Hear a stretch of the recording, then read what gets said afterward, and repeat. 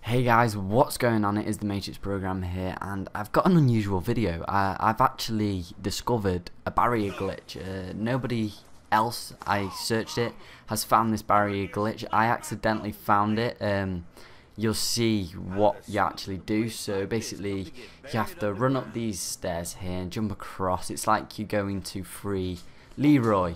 Uh, so you have to get the key, and then once you've collected the key, uh, you have to unlock Leroy, and Leroy actually turns around. So what you do is you basically just go around and stand in front of his crotch and stare at his crotch. That's it. So basically, how I found it was, I got a text by mistake, and um, I just sat here and I thought it was like getting into a new round, so I had a few seconds to reply, and there's actually one zombie left, and I took my headset off. And when I looked back, I just saw a zombie just sat here like this. Um, I've actually got a few little clips of what it's like. The only thing you do have to watch out for is the zombies that come to the left or the right of his leg. Uh, I would recommend Sleight of Hand and Juggernog for this. Or Juggernaut, Juggernog, Juggernaut, whatever one it is.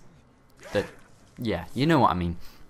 Uh, but yeah, I don't I'm never going to use this glitch. I uh, just did this for purpose of people knowing the glitch and uh, hopefully they'll patch it because I'm not the type of person to use these sort of glitches to um, get to higher rounds and here you can see I've got the SMR and uh, just totally sort of went ham on these. The only It's the only place they can come in through the gate as well and uh, he seemed to stay there all the time the only problem I seemed to have was the um, zombies coming from the left and the right.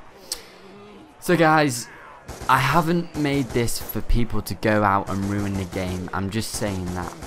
I only made this to show Treyarch what they need to patch. So if you want, you can leave a like, I'm not really bothered. You can comment down below, and most of all, subscribe for more uh, buried gameplay guys, and I'll see you guys later. Goodbye.